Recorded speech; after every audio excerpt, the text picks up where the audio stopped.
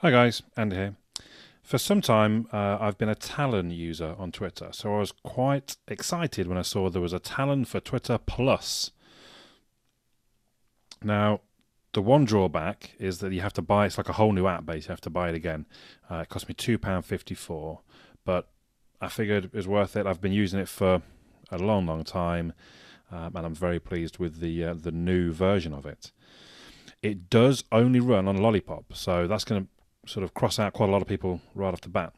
But if you have Lollipop, it's a very pretty looking Twitter client. So let me show you some of the differences. Now to, here we go. Uh, right, let's go to the settings. So UI settings. The theme is actually just a color. Although there is a dark theme, as you can see there. Look, I don't know quite. Actually, let's have a quick look at the. Let's go yellow and then go dark theme because I don't know if I've seen the dark theme yet. There it is, as you would expect, I suppose. I'm going back to me light theme and brown. I don't know why I chose brown, but I did.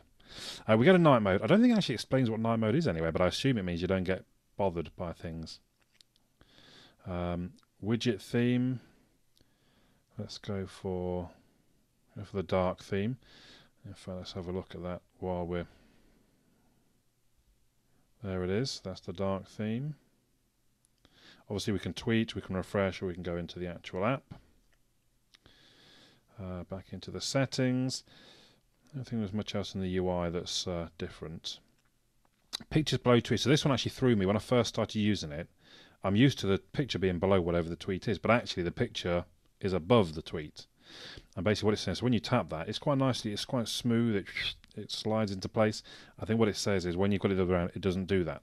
So I thought, okay, I'll just get used to reading the tweet, seeing the picture above, like so. So just something to be, oh, come all the way up, just something to be wary of. Uh, settings I was in, sorry. Sync settings, there's nothing particularly new, I don't think, to see there. Uh, nothing, nothing. Advanced settings, what was there in there? Tweet marker, so nothing, nothing too new. Enable emojis. Mute management main page. Now this one I did like. I'm not sure I've seen this before. So choose swipeable pages. With this version of Talon, you can completely customize your swipeable timelines. You can place up to six. So, we basically say, for example, that's the home page, set that as a default.